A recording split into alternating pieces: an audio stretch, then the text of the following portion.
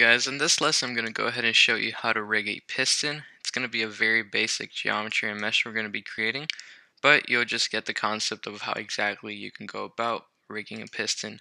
So let's go to create, polygon primitives, click cylinder. I'm going to press command D two more times so we have a total of three cylinders. This guy, one of them I'm going to move it up, hold down J in order to rotate in increments of 15, and scale them down just so we have a wheel just like so. Now we're going to select the other two at the same time, scale them down just like so, so we have like a tube shape. We're going to move them about here, and we're going to scale it up a little bit, scale it just like so. Now we're going to move both of them down, and now we're going to select just one of them and move it up. Now for this one, we're going to scale it so the radius is smaller than the other one. I'm going to turn off x-ray just so you can see better, just so it's like an actual piston. This is the base where the piston goes into. Now I'm going to select this geometry, go to vertex, and move these vertices down. But just to show you, like let's assume these vertex were all the way up here for the piston. Whenever this geometry, this cylinder starts like going around the actual wheel, as soon as it gets out of place and up here it just pops out and you can see that the piston is not continuous. So these vertices you want to put them as much all the way down as much as you can. Now next step is to move these pivot points all the way up. So for this geometry it's going to be up here for example.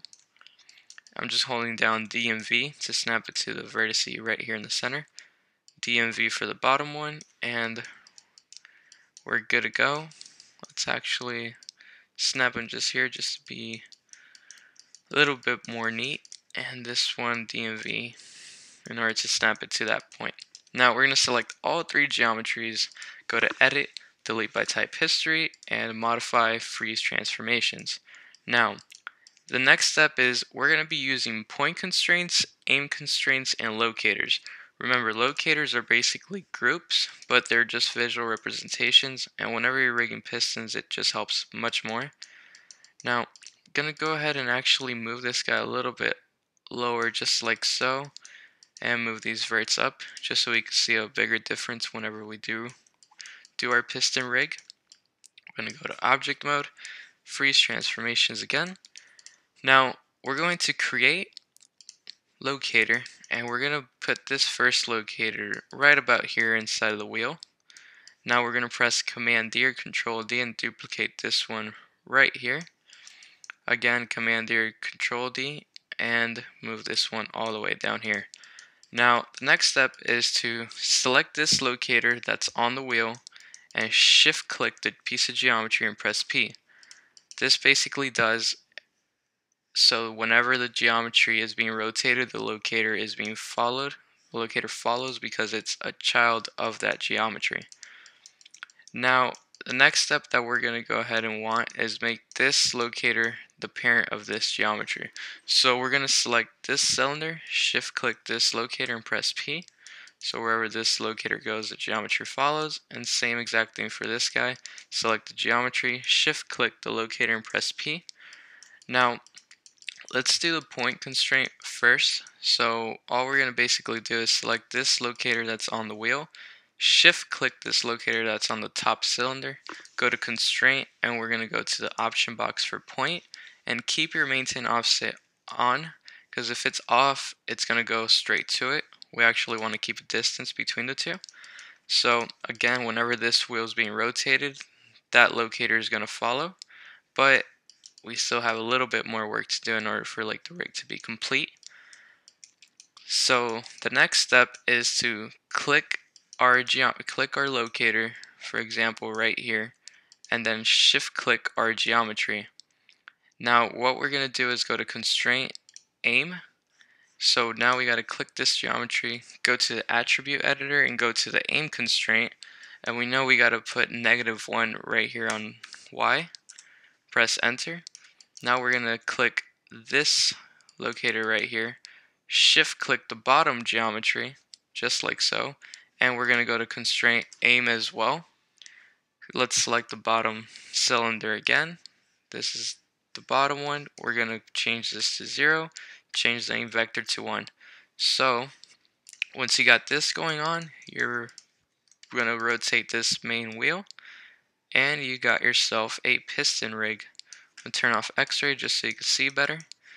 So basically what we did is, let me zero this guy out just to reiterate.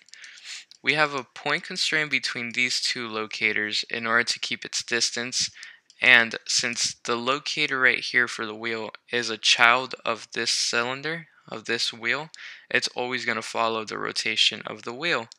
Now, since this is point constrained to this locator, it's always going to try to keep its distance with the maintain offset on, just like so.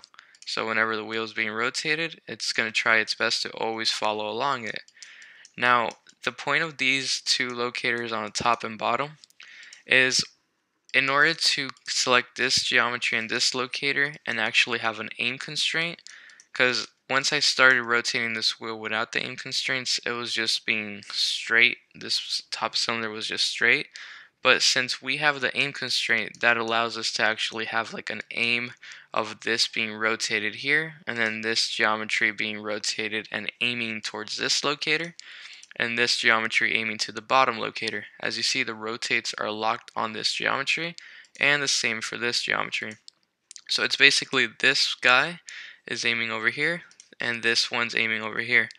Now, the reason to put the pivot points on the top and this one on the bottom is just to have better results of like this is actually aiming all the way from down here to this top locator and this pivot point is aiming all the way to this bottom locator and we're actually as well using this same locator that this geometry is aiming at in order to do a point constraint between this locator and the other one of the wheel in order to actually have that influence of whenever the wheel rotates it follows. And that's like the most basic type of piston rig you can do.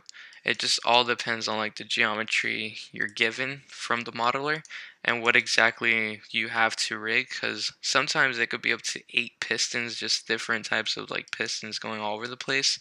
And it's always going to be the same process. You're going to be using point you're going to be using aim and highly recommended you make locators for these because just like a locator I'm going to press command G or control G on Windows. It's basically the same thing as a null which is a group. The only difference is I can't select a group in the viewport.